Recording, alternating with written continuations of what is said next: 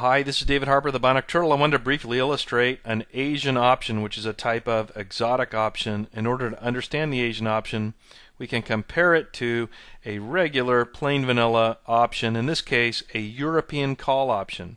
Recall a feature of the European call option is the strike price, denoted here by K.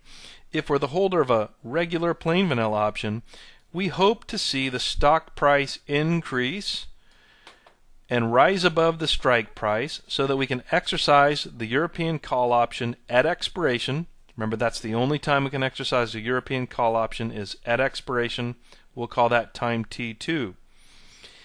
And we profit, or our payoff is the difference between the spot price of the asset on that exercise date, that's S here, and the strike price. And so in a plain vanilla option, we use the spot price at the time of exercise.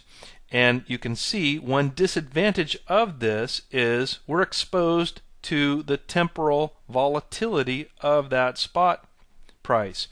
For example, if this weren't a stock, but we're using the option to hedge against a foreign exchange rate, and so the path here is the foreign exchange rate, the option, the value of the option is very much dependent on the particular volatility or daily outcome of that foreign exchange rate.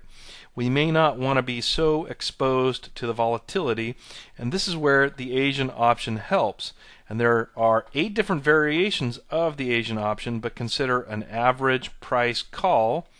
This time, everything's the same except that as the holder of the European average price call, which is a form of Asian option, now when we exercise, it's not the difference between the spot price and the strike price, but rather the average spot price and the strike price. So now we look back here to the path, so the Asian option is path dependent to find the average value of the spot asset. And the difference between that and the strike price is the payoff. So immediately there's two benefits to this.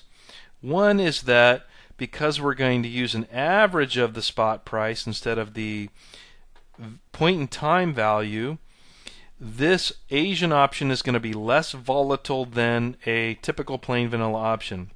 Less volatility means this will have less value and it will cost us less to purchase the Asian option. The Asian option has a lower premium.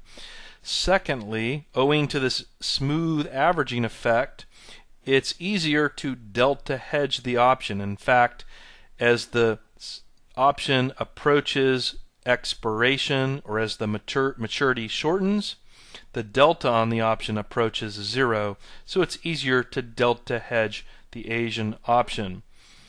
Notice the average value here is arithmetic, so instead of the spot price, we're using the arithmetic average of the spot price over the holding period, but we could also use a geometric average if we want. So this is an average price call. We also could have an average strike call. In this case, instead of averaging the spot price at exercise, we can average the strike price. And so instead of a fixed strike price, in the case of an average strike call, again a type of Asian option, the payoff is the spot price of the asset at that point in time minus not a fixed strike price, but rather looking back to the average spot price of the asset over the holding period. So you can see here we're still averaging, but this time it's averaging the exercise price. So that shows average price call and average strike call. And as you would expect, we can have an Asian option that's a put and we can have an average price put, which at exercise uses the average price of the spot price of the asset. So, but instead of a call, it's for a put.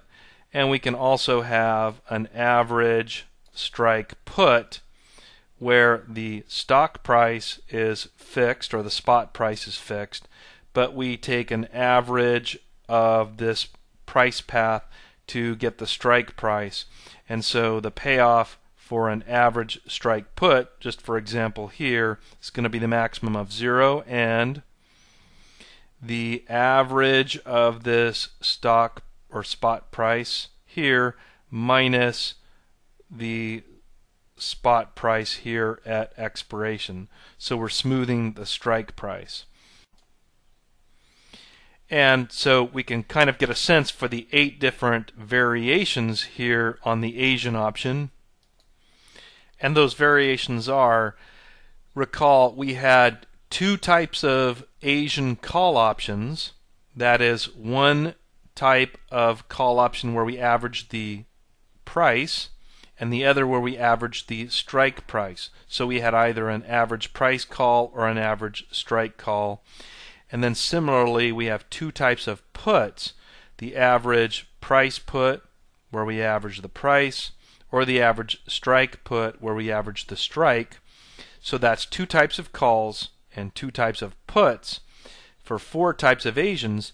And then finally, we could average either arithmetically, as shown here, or geometrically. So, two ways to average.